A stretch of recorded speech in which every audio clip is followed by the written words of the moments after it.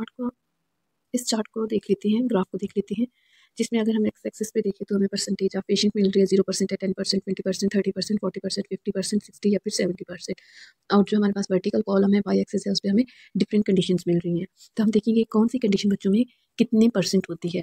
एंट्रोस्टमी एंट्रोस्टमी क्या होता है? हमारे पास जब भी कोई इंटेस्टाइनल इशू हो मतलब इंटेस्टाइन में कोई ओपनिंग हो जाए तो उसे हम कहते हैं इंट्रोस्टमी तो इसमें mostly sixty percent sixty above जो है ना, इसी कंडीशन के साथ रिपोर्ट हो रहे होते हैं बच्चे या फिर हॉस्पिटल्स में एडमिट होते हैं। इसके बाद जो नेक्स्ट कॉमन कंडीशन है, वो एपिलिप्सी जिसमें फिट्स और सीजर्स होती हैं, क्योंकि उसमें जो हमारे ब्रेन की इम्पल्सेज होती हैं, वो एब नॉर्मल हो रही होती हैं। जो हमारे पास इम्पल्सेज हैं, उनकी अब नॉर्मेलिटी ही लीड कर रही होती है फिट्स को। Third most common condition third और फोर्थ और मोस्ट ही है ट्रिक्योस्टमी है और इसोफिजल रिफ्लक्स है।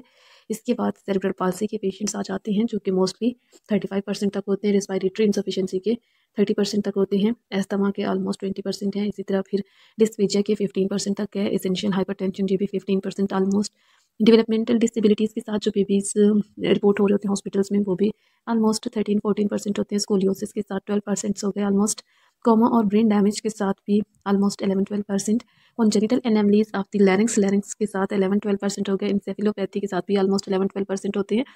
कार्डिक डिसरिथमियाज के साथ टेन परसेंट रिपोर्ट हो रहे होते हैं। इसी तरह पलमोनरी हार्ट डिज़ीज़ को अगर हम देखें तो लेस देन टेन है। ऑलमोस्ट एट परसेंट तक। C S F draining devices के साथ भी एट परसेंट तक होते हैं। हाइड्रोसेफलस के साथ भी एट परसेंट डिकोबेटस अल्सर जो प्रेशर अल्सर्स होते हैं seven percent almost hearing loss के साथ डेफनेस के साथ almost seven percent hypothyroidism condition के साथ भी आलमोस्ट सेवन परसेंट होते हैं कॉर्टिकल ब्लाइंडनेस ये भी आलमोस्ट फाइव सिक्स या फिर सेवन परसेंट तक होते हैं एड्रीनल इनसफिशेंसी इसके साथ भी आलमोस्ट वही फाइव सिक्स परसेंट तक रिपोर्ट हो रही होती है। तो इस चार्ट से हमें पता ये चलता है कि कौन सी कॉमन कंडीशन है जिसकी वजह से बेबीज हॉस्पिटल्स हो रहे होते हैं तो वो इंटेस्टाइनल कंडीशंस होती हैं। उसके बाद second most common neurological conditions हो सकती हैं, जैसे एपिलिप्सी वगैरह, हमने फेब्राइल सीजर्स भी देखा है। इसके बाद नेक्स्ट मोस्ट कॉमन कंडीशन है, वो ट्रिक्योस्टमी मतलब जो हमारी ब्रीदिंग डिफिकल्टीज़ के साथ बेबीज रिपोर्ट हो रहे होते हैं, वो थर्ड मोस्ट कॉमन कंडीशन है।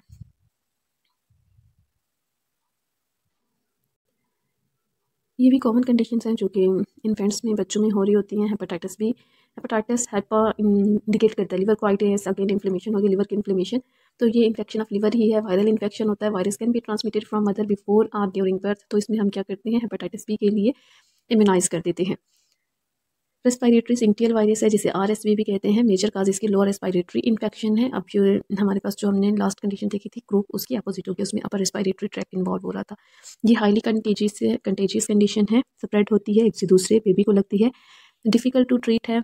वायरल बैक्टीरियल इन्फेक्शन होने की वजह से इसमें हम एंटीबायोटिक्स ही देते हैं पेशेंट को बेबी को, ताकि सेकेंडरी इन्फेक्शन ना हो।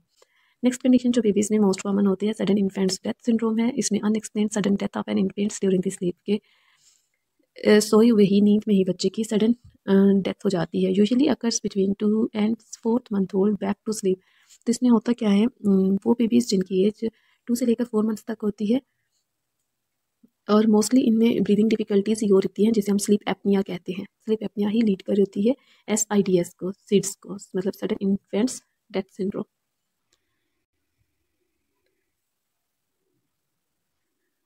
अब हम देख लेते हैं जैसे कि देख मोस्ट कॉमन कंडीशंस बच्चों में विंटर्स में ही हो रही थी तो विंटर्स में बेबीज़ को कौन कौन से प्रिकॉशंस लेनी चाहिए, ताकि जो विंटर है वो, उसमें बच्चे को डिफरेंट इन्फेक्शंस ना हो और उनका जो विंटर सीज़न है वो आराम से गुजर जाए।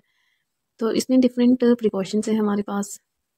फ़र्स्ट प्रिकॉशंस में आ जाता है load of on vitamin C हमने विटामिन सी का इंटेक बेबी को ज़्यादा करा देना है, जैसे food rich in vitamin C can shorten the length of the cold जैसे vitamin C reduces the duration of the children's cold by fourteen percent that means an average of four fewer six days a year second चीज़ जो हम करते हैं vitamin D का intake भी ज़्यादा करा देते हैं. This vitamin regulates the immune system and prevents the cold kids who take twelve hundred gram a day all winters get a seasonal flu fifty eight percent less third जो हमारे पास step आ जाता है precaution या prevention में, वो है wash hands carefully washing with the soap and water kills most germs only twenty five twenty eight percent of the kids know how to wash their hands properly hands should be scrubbed for at least twenty second as long as it takes to sing twinkle twinkle little star अच्छा next है हमारे पास sleep well plenty of the sleep helps kids fight illness जैसे कि toddlers need at least thirteen hours of sleep per day school going child requires ten to eleven hours sleep next step जो हमारा आ जाता है disease prevention में use a humidifier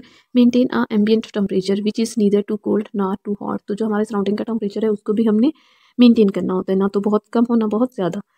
और last step जो हम प्रिकॉशन ले रहे होते हैं, वो है winter wear wear in layers of the clothing including socks and gloves उन स्टेप्स के अलावा ये कुछ स्टेप्स हैं, जो कि हेल्प करते हैं वही विंटर मंथ में, ताकि कम से कम डिजीजेस हो सकें इम्यून बूस्टिंग फूड्स देनी है। जैसे विटामिन सी का हमने देखा था विटामिन सी का इंटेक ज़्यादा करा देना है। बेबी को हाइड्रेटेड रखना है। फ्लूड इंटेक वाटर इंटेक भी ज़्यादा करनी है। शुगर जो इंटेक है, सर्दियों में कम कर देनी है। उसकी प्रॉपर स्लीप पैटर्न जो है, वो मेंटेन रखना है। वॉशिंग हैंड्स वही frequently wash hands incorporate warming foods warming foods में जैसे ये हमारे पास जिंजर आ जाता है विटामिन डी का जो इनटेक है विटामिन डी इनटेक वो भी हमने ज़्यादा करा देनी है। Create a routine to decrease the stress और ऐसी रूटीन हमने बच्चे की सेट कर देनी है कि कम से कम वो स्ट्रेस को एक्सपीरियंस करें और लास्ट वन क्या है प्रोबायोटिक्स हम देंगे। प्रोबायोटिक्स में ये होता है, कोई भी इन्फेक्शन नहीं है जो हम शुरू में ही दे रहे होते हैं बेबी को फॉर प्रिवेंशन पर्पज़ जैसे कि हमारे पास प्रोफाइलेक्सिस आ जाती है सेम उसी तरह ये प्रोबायोटिक्स होते हैं।